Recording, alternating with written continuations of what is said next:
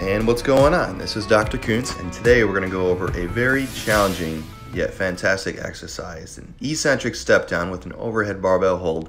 Definitely for more of those who are in advanced uh, in their weightlifting career opposed to beginners. The reason being, it, it really challenges your entire body to be in tune all the way down to the ankle, the knee, and the hip. In terms of lower extremity here, my left side's really being challenged with its balance and strength. And then when you take a look from the side, you can really tell how as you hold the barbell overhead, it doesn't allow you to cheat.